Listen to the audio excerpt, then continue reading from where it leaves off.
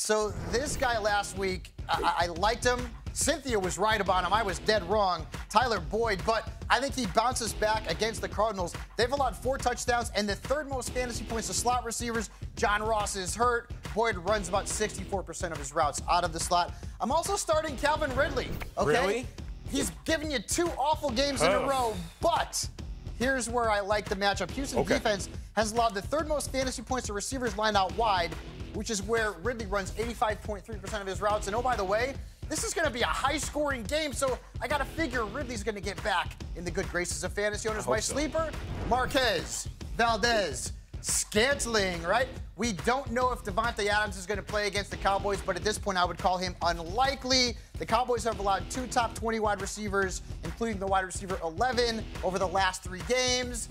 Hey, Aaron Rodgers has got to throw the ball to somebody, right? So MVS could be one of his top targets. Give me two receivers to sit, man. Yeah, Emmanuel Sanders. I told you to sit him last week if Jalen Ramsey was active. He wasn't. Sanders came in, had a big game, but in his last four games against Casey Hayward and the Chargers, Sanders has been held to fewer than four catches, fewer than 68 yards, and no touchdowns. This could be a Courtland Sutton game again. I'm also benching Corey Davis. Uh, I'm glad this show is not sponsored by the Tennessee Titans. Oh, man. Because we have been all over them. But I mean, Davis had 20 points last week.